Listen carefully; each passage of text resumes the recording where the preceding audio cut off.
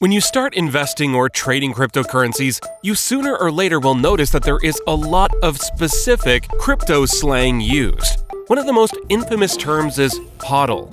But what does that actually mean and why has it become so popular amongst crypto enthusiasts?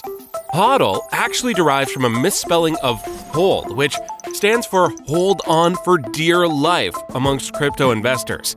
The term HODL originated back in 2013 with a post on the Bitcoin Talk forum by a user drunk ranting about his bad trading skills and that despite Bitcoin crashing at that time, he chose to hold onto it no matter what. Within an hour, HODL became a meme, referencing the movies 300 and Braveheart. Since then, countless memes have been added, referencing, for example, Hodor from Game of Thrones.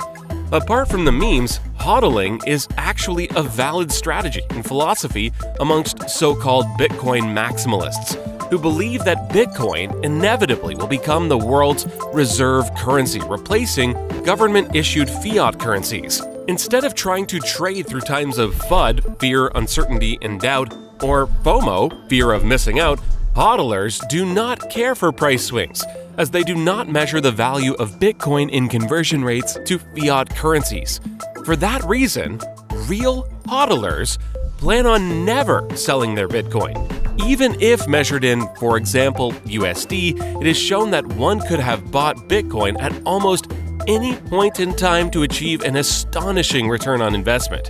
What do you think? Will a meme eventually be correct in forecasting Bitcoin as the new world reserve currency? Or is trading a superior strategy to hodling?